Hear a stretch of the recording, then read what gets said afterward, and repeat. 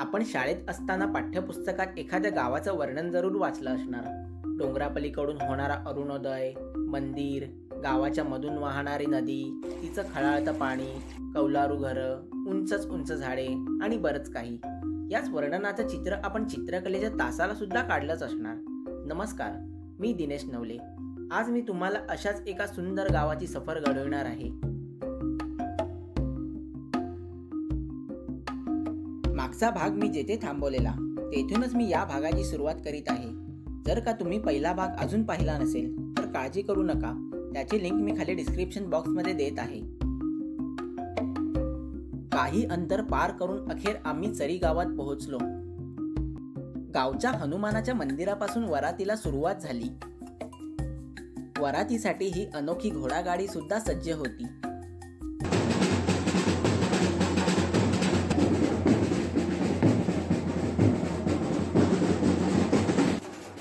गावातल्या चिंचोळ्या गल्ल्यांमधून वाट काढत वरात पुढे पुढे सरकत होती. या मुलांचा बँड वाजवायचा उत्साह त्यांच्या वयाचा दुप्पट होता. अखेर वरात नवऱ्या मुलाच्या घराच्या अंगणात पोहोचली. तेथे मांडव सजलेलाच होता. काय हो काय पाहिजे? वरती वरती वरती पाहिजे म्हणजे? बसलीस कशाला? काय होई नाही काय काय करू आता?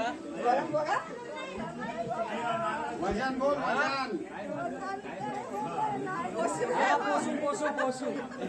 विचार पोशील काय? तिला विचार पोशील काय? पोशील का तिला? हा, दोघाही उचला. ही गृहप्रवेशाची अनोखी प्रथा मला खूप आवडली. आपल्या या विविधतेने नटलेल्या महाराष्ट्रात आपल्याला खूप साऱ्या चालीरीती आणि परंपरा पाहायला मिळतात. आणि हीच खरी आपली ओळख आहे जी आपण टिकवायला हवी. साखर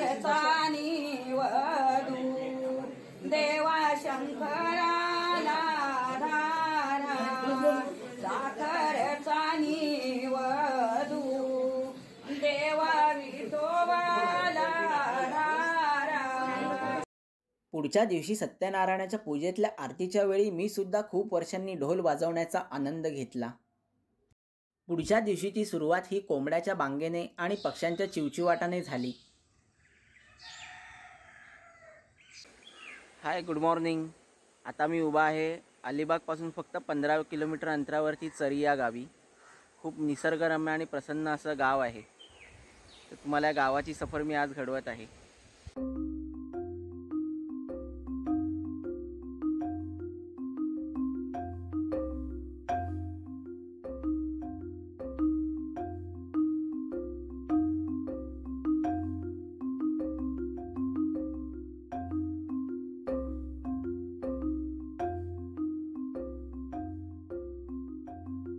चालत थोडा पुढे आलो आणि गावाला जोडणारा पूल लागला.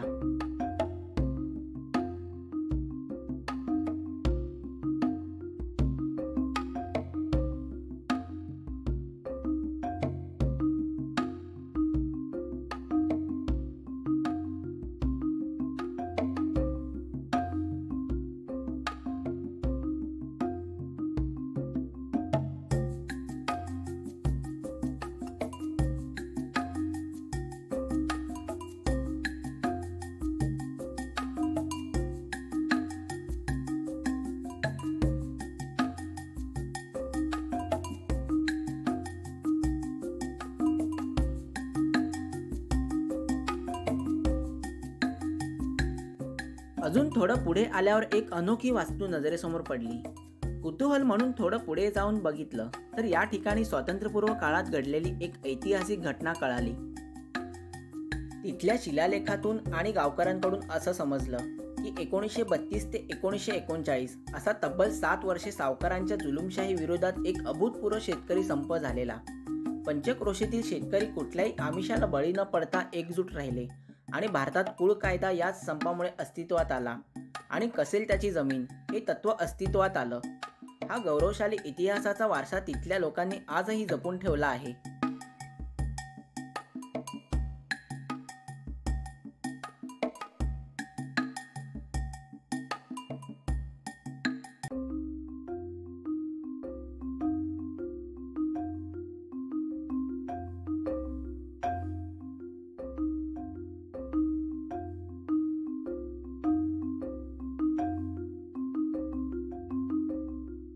पुढे नदीच्या काठाशी येऊन पोहोचलो.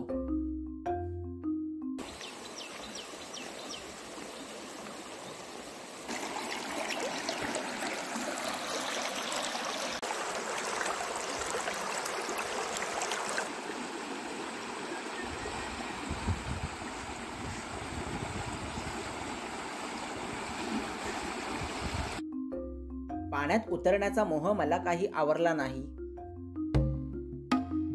पाणी खूप थंडगार होतं. नदी ही अगदी संथ प्रवाहात पुढे सरकत होती.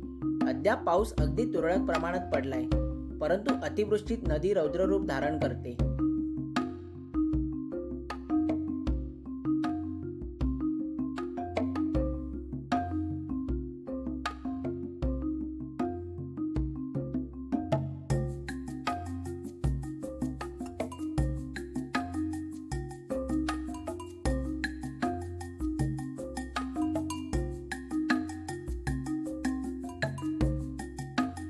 नदीच्या काठाशी गणपतीचं सुंदर मंदिर वसलेलं आहे.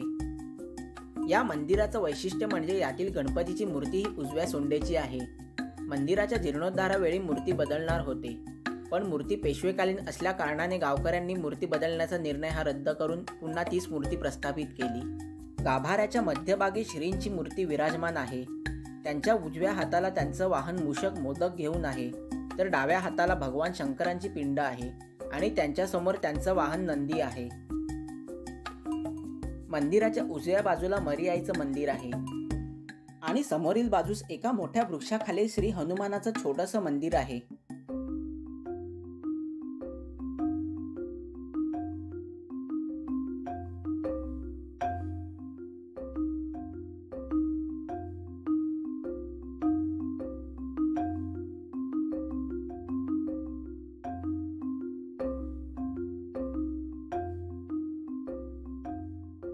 पहाटेच पाऊस पडून गेल्याने गावचे रस्ते ओलेचिंब होऊन गेले होते आणि मातीचा सुगंधही दरवळत होता.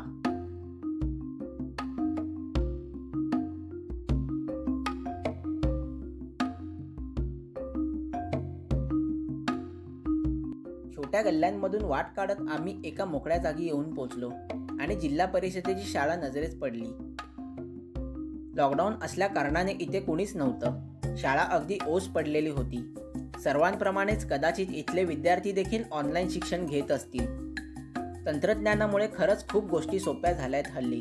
नाहीतर अशी परिस्थिती आपण शाळेत असतानाच्या काळी झाली असती. तर कसं झालं असतं हे देवच जाणे.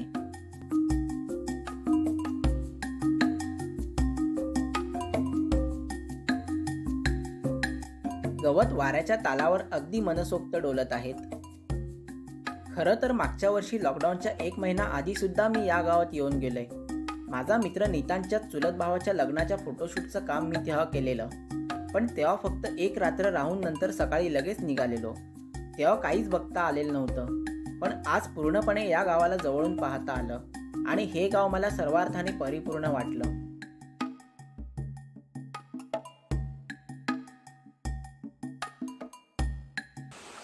खूप दिवसांनी मी बाहेर पडलेलो गावात आलेलो एका अलिबागजवळच्या चरी या गावात. खूप धमाल केली खूप मस्ती केली खूप मजा आली. आणि याचे खूप सारे किस्से तुम्ही आता बघितले असतील.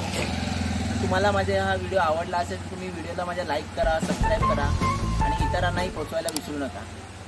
Bye bye take care